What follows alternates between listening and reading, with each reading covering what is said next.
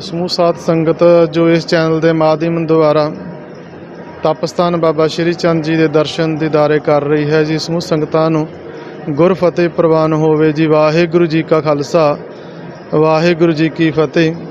ਸਾਧ ਸੰਗਤ ਜੀਓ, ਆਪ ਜੀ ਨੂੰ ਬਾਬਾ ਸ਼੍ਰੀ ਚੰਦ ਜੀ ਦੇ ਜਨਮ ਦਿਹਾੜੇ ਦੀਆਂ ਬਹੁਤ ਬਹੁਤ ਵਧਾਈਆਂ ਹੋਵਨ ਜੀ। ਇਸ ਮਹਾਨ ਪਾਵਨ ਸਥਾਨ, ਤਪਸਥਾਨ ਗੁਰਦੁਆਰਾ ਸ਼੍ਰੀ ਬਾਰਠ ਸਾਹਿਬ ਵਿਖੇ ਬਾਬਾ ਸ਼੍ਰੀ ਚੰਦ ਜੀ ਦਾ ਜਨਮ ਦਿਹਾੜਾ ਬਹੁਤ ਹੀ ਸ਼ਰਧਾ ਭਾਵਨਾ ਦੇ ਨਾਲ, ਸੰਗਤਾਂ ਦੇ ਸਹਿਯੋਗ ਦੇ ਨਾਲ ਮਨਾਇਆ ਜਾ ਰਿਹਾ ਹੈ ਜੀ। ਅੰਮ੍ਰਿਤ ਵੇਲੇ ਤੋਂ ਹੀ ਵੱਡੀ ਗਿਣਤੀ ਦੇ ਵਿੱਚ ਸੰਗਤਾਂ ਇਸ ਸਥਾਨ ਤੇ ਨਤਮਸਤਕ ਹੋਣ ਵਾਸਤੇ ਪਹੁੰਚ ਰਹੀਆਂ ਹਨ ਜੀ ਉਹ ਵੱਡੀ ਤਾਦਾਦ ਵਿੱਚ ਸੰਗਤਾਂ ਆ ਰਹੀਆਂ ਹਨ, ਪਰ ਕਿਵੇਂ ਜਿਵੇਂ ਕਿ ਅਸੀਂ ਜਾਣਦੇ ਹਾਂ ਜੀ ਕਰੋਨਾ ਵਾਇਰਸ ਮਹਾਮਾਰੀ ਵੀ ਨਾਲ ਨਾਲ ਹੈ ਜੀ।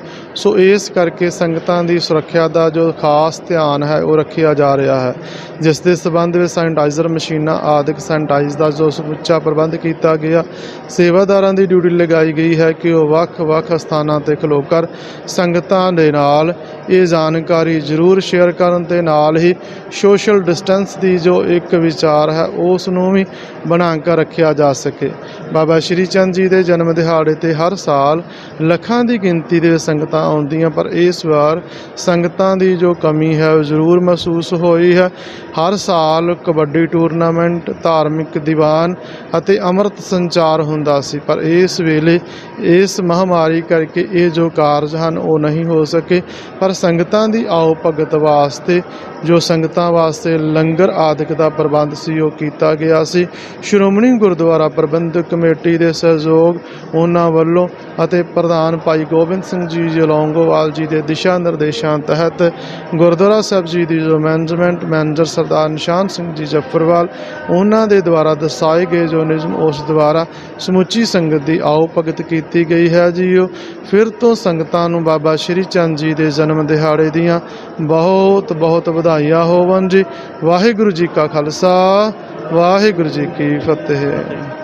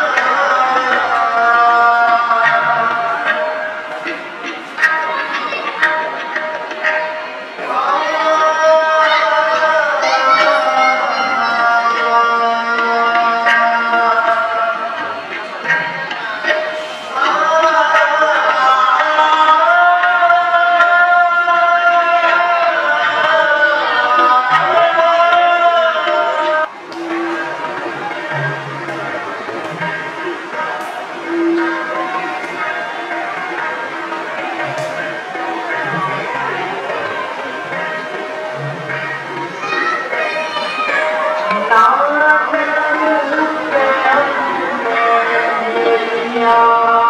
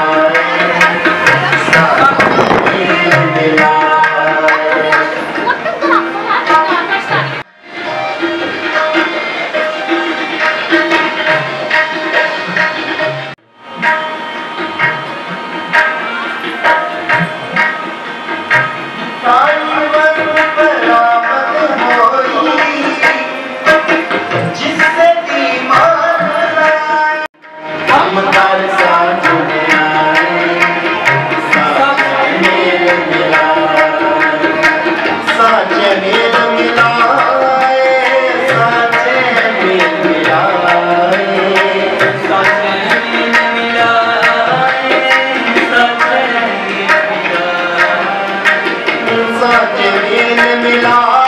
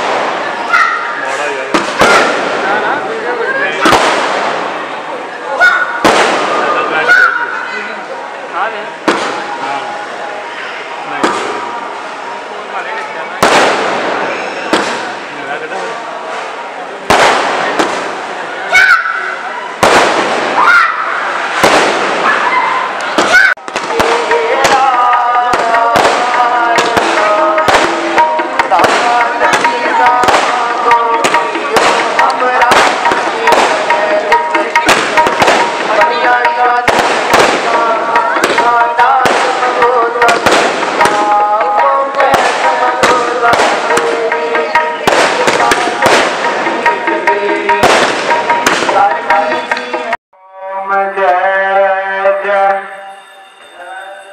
ਗੁਰੂ ਚੰਦਰ ਦੇਵਾ